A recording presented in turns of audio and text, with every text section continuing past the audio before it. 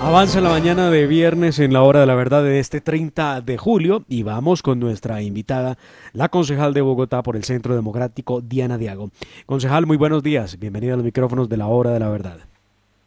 Buenos días para usted, Temar, para Sergio, para el doctor Fernando Romino, que sé que nos está escuchando, y para todos los queridos oyentes de la hora de la verdad. Pues muchas gracias por atender nuestro llamado y la primera pregunta y la más obvia es ¿en qué consiste el rescate social eh, que propone la alcaldesa y su administración para la reactivación del sector cultural? Bueno, el rescate social eh, que hoy eh, propone la señora alcaldesa es un proyecto de acuerdo que está cursando en el Consejo de Bogotá. Casualmente va a tener su primera discusión en la Comisión de Hacienda eh, y este rescate, a mi modo de ver, no es ningún rescate social, es un engaño de la señora alcaldesa, porque está aprovechando políticamente la situación que hoy viven tantos bogotanos, de pandemia, de paros, que obviamente golpearon su economía. Entonces, eh, le propuso, le propone al Consejo que se apruebe un traslado presupuestal, porque realmente el rescate social es un traslado presupuestal de 1.8 billones de pesos. Y de esos 1.8 billones de pesos, 1.1 billones de pesos van para Transmilenio, para pagarle la deuda a los operadores. Entonces, a mi modo de ver, esto no es ningún rescate social. Y obviamente, pues cuando empieza a hablar que vamos a seguir reactivando sectores, y lo incluye ahí, pero la, la, la apertura del sector eh, de, de, discotecas, de teatro, de cine, eso es otra cosa. Entonces, para explicar bien a los oyentes que hoy en el Consejo lo que se está buscando es un traslado presupuestal para que Bogotá pues no pierda el transporte. A mi modo eso también es como un chantaje, ¿no? Porque hoy nos está diciendo a los concejales de Bogotá, o votan esto y se aprueba o el sistema se para y se acaba. Lo cual también, a mi modo de ver, es una mentira, porque una alcaldesa que ya lleva un año y siete meses gobernando no le puede decir esto a la ciudad. Tiene que buscar eh, herramientas y bueno, vamos a ver qué pasa hoy en la comisión. Pero para que Bogotá realmente tenga un rescate social necesitas inyección de recursos importantes para las empresas, para que los hogares también dinamicen el consumo, la economía. Ahí es donde se va a mejorar la calidad de vida de los ciudadanos. De este proyecto de rescate social yo creo que aquí hay muchos reparos. Eh, me parece que es lamentable que los grandes proyectos de infraestructura que sí van a generar empleo en la ciudad, que ni siquiera son de la administración de Claudia López, hay que aclararle y contarle aquí a los oyentes, viene de la administración de Peñalosa y en un año y siete meses no se han podido edificar ni jurídica ni técnicamente, entonces, ¿qué va a hacer? La señora alcaldesa quiere quitarle estos recursos a estos proyectos y pasarlo a a, proyectos de muy bajo impacto en temas de empleo. Entonces, eh, creo que este rescate social también quedará en veremos, se salvará Transmilenio muy seguramente.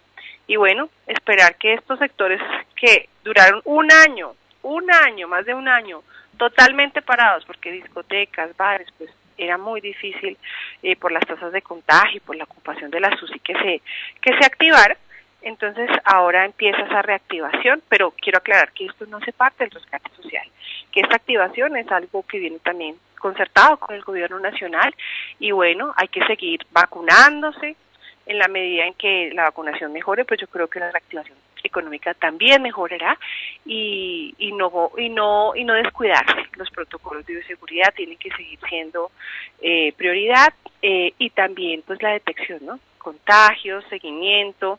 Creo que esa es la reactivación económica la que veremos en Bogotá. Pero este proyecto de rescate social que le presenta al Consejo de Bogotá no es ningún rescate social, lo repito. Y bueno, pues la señora alcaldesa ya nos tiene acostumbrados a anunciar con bombos y platillos proyectos, anuncios que realmente no son lo que la ciudadanía espera. Concejal, la saluda Sergio Held. Me gustaría preguntarle sobre la gobernabilidad de la administración eh, de Claudia López ante el Consejo de Bogotá.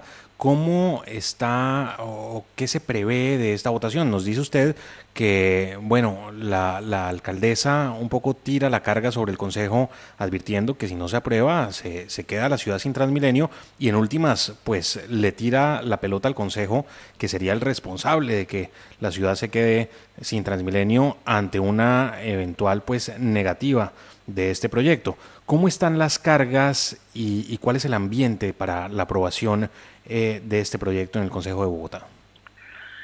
Sergio, yo considero que eh, la señora alcaldesa eh, cada día tiene relaciones más rotas con el Consejo de Bogotá y eso lo vemos con la oposición. Al inicio eran eran cuatro, después llega la oposición de Centro Democrático, que somos cinco, y ya también Colombia Humana y el partido ASI también se une a la oposición. Es decir, que cada día se notan que las relaciones son más tensas. ¿Por qué? Porque vemos una ciudad pues con muchas problemáticas, que no avanza, que se queda solo en un discurso y sobre todo tenemos un secretario de gobierno que no está haciendo su tarea que no está socializando esos grandes proyectos que la ciudad necesita eh, al interior del Consejo. Además, es, es, es angustiante ver cómo engaña, porque cuando uno le dice rescate social, ¿usted qué piensa? Empleo mujeres, jóvenes, educación, eh, temas de vivienda, porque eso es lo social. Pero cuando uno ve y lee detenidamente un proyecto como esto y dice, bueno, esto es un rescate a Transmilenio, que es válido, es válido, pero lo que no es válido es dejar ese en el ambiente eh, esa sensación de que si no se hace algo Bogotá va a perder y va a ser responsabilidad de los concejales. Cuando no es cierto cuando no es cierto. Esto viene de mucho tiempo atrás y la señora alcaldesa lo sabe si ustedes miran los trinos de la señora alcaldesa de tiempo atrás habla del déficit que tiene Transmilenio entonces ese sentimiento de chantaje que hoy sentimos muchos concejales pues que eso ha generado malestar y ahora vamos a ver qué va a pasar hoy.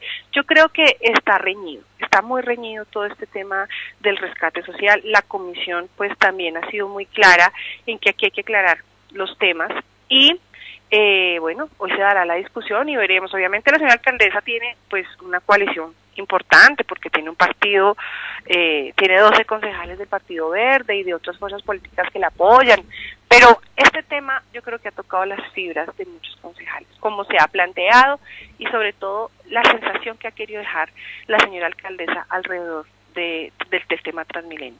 Claro, el transporte es fundamental para la reactivación económica, como no, necesitamos que la gente se mueva, estrato 1, 2 y 3 son los que más eh, eh, toman el, el sistema, pero no lo que está haciendo la alcaldesa, no diciendo mentiras y sobre todo siempre utilizando políticamente, aprovechando políticamente la situación difícil de los bogotanos para salir ella a lucirse. Yo creo que aquí hay que ser claros con la ciudad, claros con Bogotá, eh, y esto, a mi modo de ver, sigue siendo un chantaje. Entonces, si ustedes no aprueban, el sistema se acaba. Y yo creo que ella debe tener también pues un plan B. Eh, y creo que acá también hay que tener claro algo, el gobierno nacional fue claro que nos iba a ayudar con el 50% de ese déficit, entonces no es cierto lo que dice la señora alcaldesa y vamos a ver qué pasa hoy en esa discusión de este proyecto que es importante para el transporte más que para el tema social pero Bogotá sí necesita urgentemente una reactivación económica y sobre todo necesita un discurso claro, porque yo le quiero contar algo, cuando fue la discusión del plan Marshall, la señora alcaldesa nos decía, es que si ustedes no aprueban el plan Marshall, no va a haber eh, dinero para reactivación económica. Ese fue su primer argumento. Cuando el cupo de endeudamiento es lo mismo, si ustedes no aprueban el cupo de endeudamiento, no va a haber dinero para la reactivación Ahora, si usted no pone el rescate social, no va a haber Transmilenio y tampoco va a reactivación económica. Entonces uno se pregunta, bueno, ¿qué ha pasado con todo este dinero que el Consejo ya aprobó y no vemos empleos, no vemos reactivación económica, no vemos eh, eh, que las tasas de desempleo en Bogotá realmente bajen? Entonces, vamos a ver qué pasa, pero aquí estamos eh, juiciosos, listos, pues para el debate, sobre todo con argumentos muy estructurados porque como lo dije a un inicio, necesitamos una inyección de recursos para las empresas, para que eh, generen empleo, para que puedan pagar eh, impuestos y también dinamizar la economía de los hogares bogotanos que eh, en el consumo. Esa debe ser la reactivación económica y a eso vamos a ir hoy al Cabildo Distrital, a lograr pues que ciertos proyectos no se les quite el dinero. ¿Cómo le van a quitar el dinero, por ejemplo, a turismo? Cuando un turista una en un día en Bogotá deja 70 dólares, ¿cómo le van a quitar el dinero, por ejemplo, a educación, a las grandes obras, a las mega obras? ¿Sabe cuánto empleo puede generar, por ejemplo, la construcción del metro si ya tuviéramos realmente ese proyecto más que listo que lo dejó la administración Peñalosa? Muchísimos. Entonces, eso va a ser y, el, y el tema y el tema de infraestructura, concejal, el tema de la infraestructura que resulta fundamental, que los bogotanos tengan las vías mm, sin huecos para poder movilizarse, para poder llegar al trabajo, bien sea en un carro de lujo o en un SITP, pero pues los colombianos y los bogotanos en particular no merecen eh, eh, el maltrato eh, de las vías y tampoco las respuestas desobligantes como la que le dio la alcaldesa al empresario Mario Hernández cuando se quejó de las vías y le recriminó por los rines de lujo.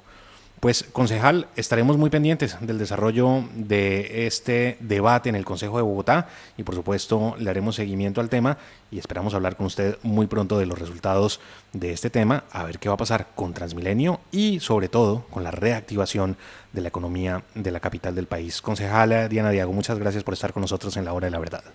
Gracias a ustedes y un saludo muy especial a los oyentes y, repito, un saludo muy especial al doctor Lamar que se recupere pronto, que aquí lo estamos esperando. Bendiciones.